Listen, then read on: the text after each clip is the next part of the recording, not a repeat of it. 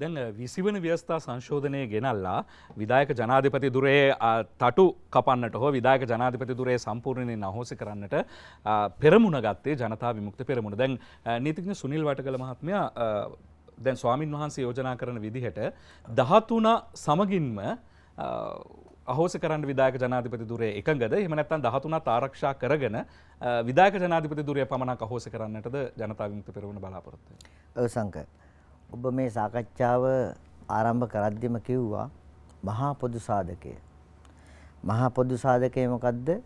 විදායක ජනාධිපති ක්‍රමය අහෝසි කිරීම. මම හිතන්නේ මේ සාකච්ඡාව අපිට මේ සාකච්ඡා මණ්ඩපේ ඉන්නවා නම් කවුරු හරි විධායක ජනාධිපති ක්‍රමය අහෝසි කිරීමට විරුද්ධ සංකල්පමය වශයෙන් මම හිතන්නේ ප්‍රායෝගික නැති වෙයි. අපි කවුරුත් මම දන්නේ මේ කතිකයන් තිදෙනාගේ ස්ථාවරය මහා පොදු සාධකයේ තමයි විධායක ජනාධිපති ක්‍රමය අහෝසි කිරීම. එතකොට ඒ අහෝසි කිරීමට අදාළ සාකච්ඡාව 1994 ඉඳන් ආපු දිගුව මේ සාකච්ඡා සභාවල් වලම අපි ඕනතරම් සාකච්ඡා කරලා තියෙනවා.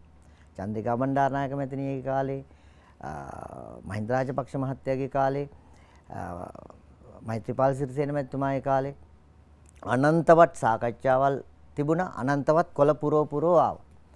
හැබැයි මේ වැඩේ උනේ නැහැ. හැබැයි ජනතා විමුක්ති පෙරමුණ විදිහට පාර්ලිමේන්තුවට 20 වෙනි ව්‍යවස්ථා සංශෝධනය ගෙනහැල්ලා තියෙනවා. ඒකට 20 වෙනි 20 වෙනි ව්‍යවස්ථා සංශෝධනය ශ්‍රේෂ්ඨාධිකරණයේ අභියෝගයට ලක් කරා. ලක් කළා එතන ආපු මහා පොදු සාධකයේ තමයි පාර්ලිමේන්තුවේ තුනෙන් දෙකක් ඕන ජනමත විචාරණයකට යන්න ඕන. අපි එකඟයි. එහෙම නැතුව බෑනේ.